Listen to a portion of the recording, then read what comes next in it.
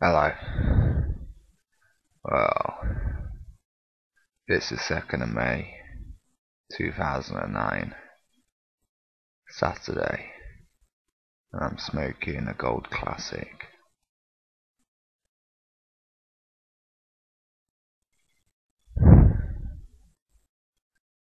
Monday is a day off for me. No college. That's not too bad.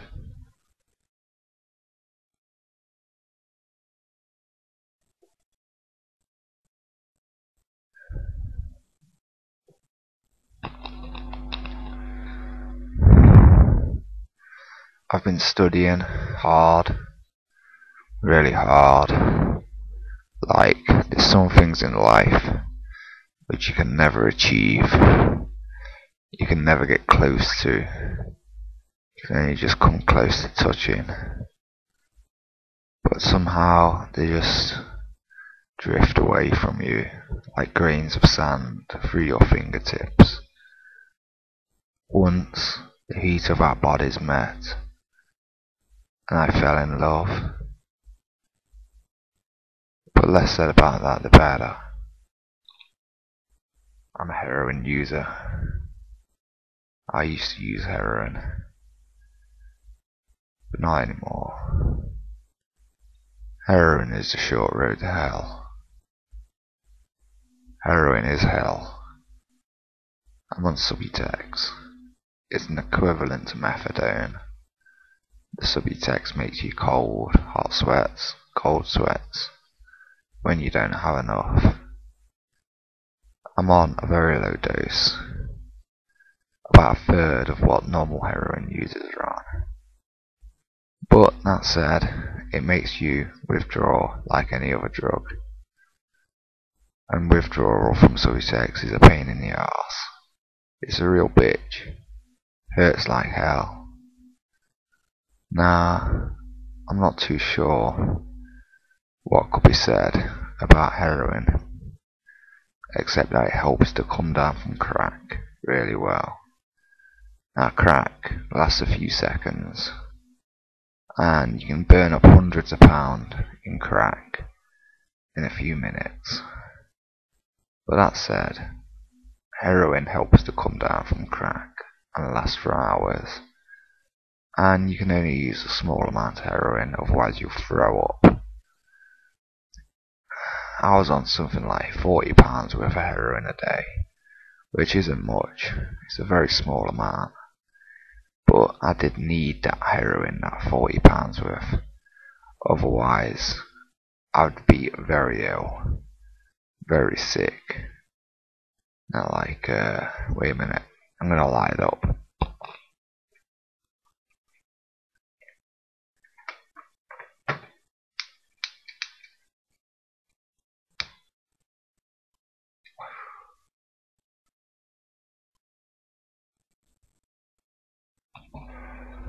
Yeah, I mean, it's like, what can be said about heroin, eh? I never injected. Injecting is the short road to hell, like I said. Now my buddy, he injected. He was injecting regular. He had a box of sharps, a sharps box. And like, he had the lime, crystals, a little spoon what they provided him with to mix it all together. I could never do that. You know, maybe one day I would have done if I'd stayed on the heroin. Because injecting is a lot better than smoking. You don't waste as much. But just thinking about it makes my bones ache. It's like I can see it now in my head, the brown liquid the bran oil just being floated along the foil and going back and forth, back and forth, inhaling the smoke, the vapors.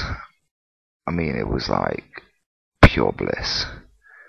And I'm just aching on the inside just thinking about it. And it's a horrible thing to be like to live through in life, having you know tried heroin in crack. I don't give a fuck about crack, but the heroin I just loved, and you know, if I could take some today and have a steady, regular supply for free from the pharmacy of pure heroin, I'd choose that over Subutex any day. But I was just thinking today, it's a beautiful day, the sun is shining, and like, I was wondering about the Subutex, how much I hate it when it's in the morning and I'm withdrawing because my supplies ran out. And I've got no Subutex and I'm rattling, I'm rattling to fuck. And I've just got no, nothing, no gear to take. And I really need my Subutex. And the pharmacy, I go to the pharmacy and they tell me to wait like four hours before they'll get any in. And I'm like, nah man, that's just fucked up. I'd have to wait rattling all that time, hours upon hours. And I'm just going out in that box, thinking about, you know, the gear and everything. Now all my dealers are locked up and in jail, prison, you know what I mean? And it's like, I can't get no, I can't get no gear.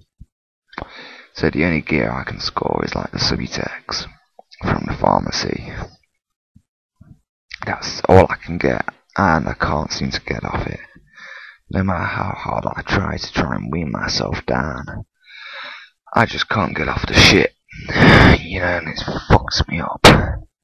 I just can't stand it, you know, just the daily abuse, like, of withdrawal.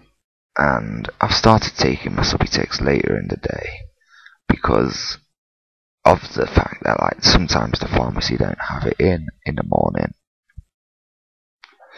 So I've started taking it as late as possible, which is about 12 to 1 o'clock when I take my Subutex. And that means at least I don't rattle so bad.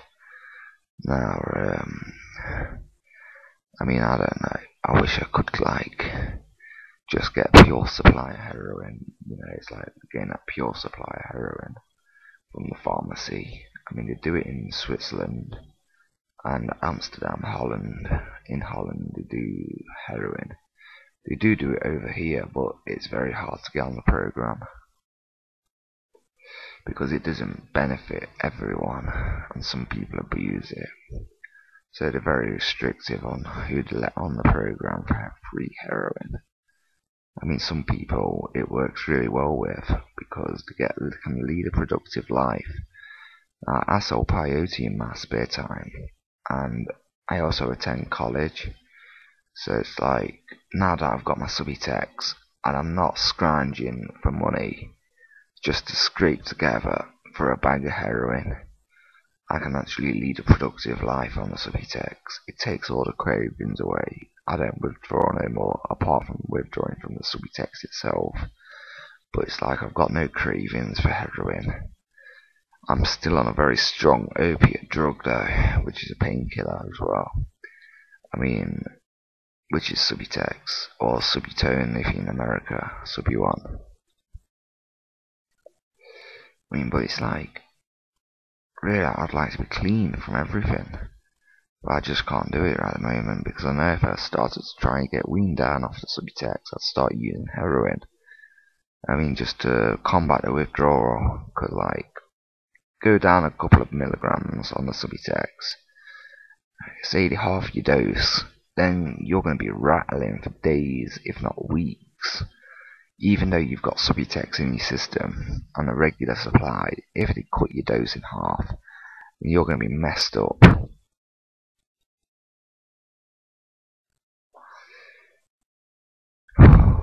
So that's what can you say, you know? I mean, either way you're screwed because like you end up back on the heroin and you're just chasing the highs again. And you're rattling all the time anyway, even though it feels so good when you score a bag. And you're taking in, you know, you're chasing the beetle and everything, chasing the dragon.